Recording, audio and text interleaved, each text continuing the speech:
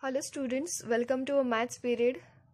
Now we'll start our next topic of measurement that is measuring capacities. Now capacity is the amount of liquid that the container holds. Now what is container? The thing that holds the liquid means such as a tumbler, bucket or the tank in which we can store the liquid. Liquid in the form of liquid such as water or juice, milk, etc. So, capacity is the amount of liquid that container holds. So, different container have different capacities. The container that holds the small capacities of liquid that measure in milliliters or the ml that holds the small capacity of liquid that holds the small or little amount of liquid that measure in milliliter and the large capacities of liquid that measures in liters. Large capacities of liquid which measured in liters or L or the small capacities are measured in milliliters or ml the small capacities means which which have a small or the little amount of liquid that will measure in ml like a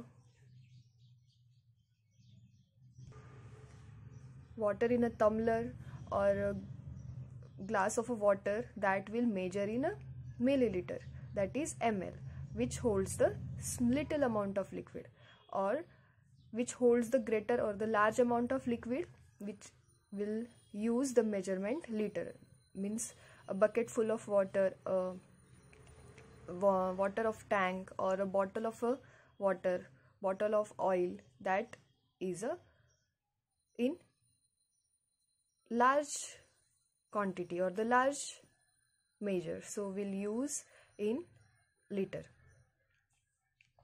So 1 liter is equal to 1000 milliliter. So here some examples are given. So when you have a cough, your mother gives you a cough syrup in a teaspoon.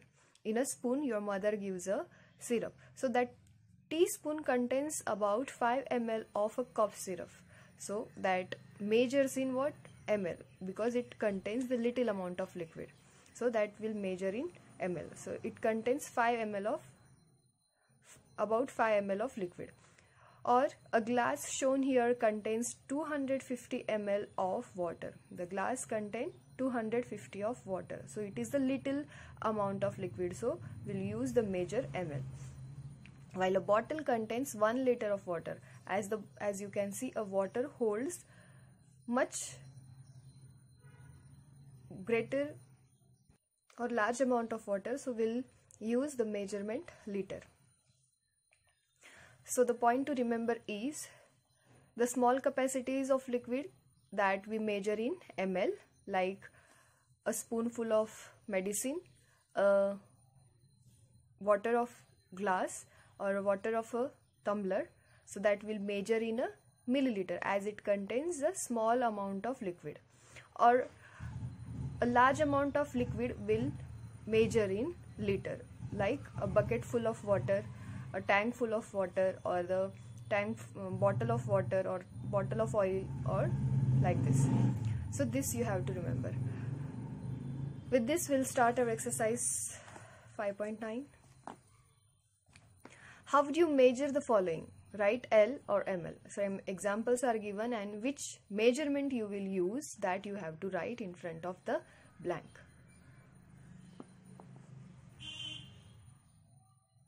first oil in a tanker. A tanker if you have seen a tanker so that tanker contains the oil in which unit? As it contains the tanker is a large so it contains the large amount of liquid.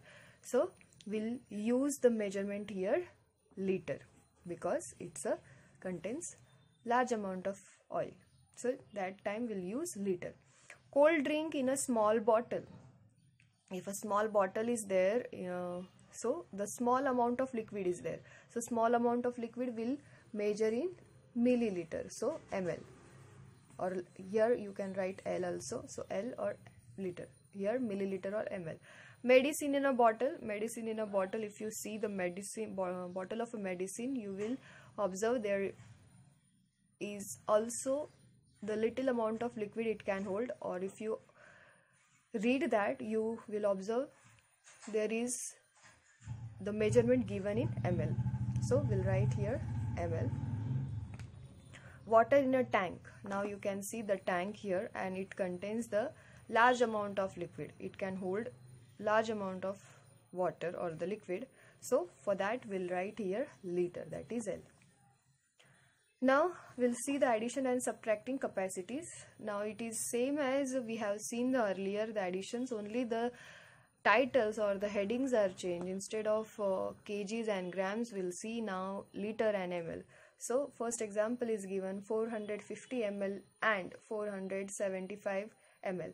So for that we have to make the column ml as it is given here. So ml. Now put the values according to the column. So 450 so 450 plus 475 after addition we got the answer here 925 but 925 in ml so 925 ml is our answer. Now addition of liters. So first add 24 liter and 58 liter. As liter column is there so first we have to make the column of liter and then put the values. 24 plus 58 after addition we got the answer here 82 but in liter so 82 liter is our answer so now next is what? Addition of liter and milliliter. Now both we have we will see together. So add 34 liter 360 milliliter and to 28 liter 450 milliliter. As two columns are given so we need to make two columns that is liter and milliliter. Then put the values as per the column 34 in liter column and 360 and milliliter column plus 28 in liter column and 450 in milliliter column. And after addition we got the answer here 62 liter 810 milliliter. This is how we can solve. Now we'll start with this our exercise 5.10 find the sum. So the sum is given 160 ml plus 250 ml so starting from 0 uh, one's column of the ml that is 0 plus 0 is 0 6 plus 5 count after 6 up to 5 fingers. So after 6 7 8 9 10 11 so what is the answer? 11 so one will write 1 in the answer place and 1 carry over to its next.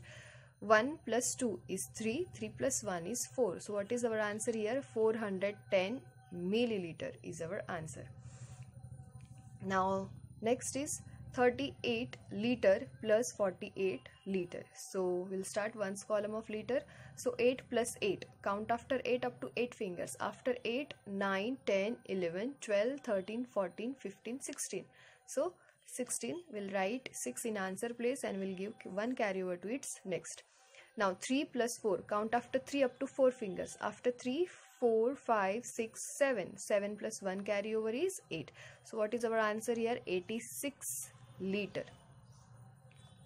Now next is E 26 liter 340 milliliter plus 24 liter 430 milliliter starting from 0th uh, sorry one's column of milliliter 0 plus 0 is 0 4 plus 3 count after 4 up to 3 fingers after 4 5 6 7 so 7 again 3 plus 4 3 plus 4 again 7 then 4 sorry 6 plus 4 count after 6 up to 4 fingers. After 6 7 8 9 10 so we'll write 0 in answer place and when we'll carry to its next.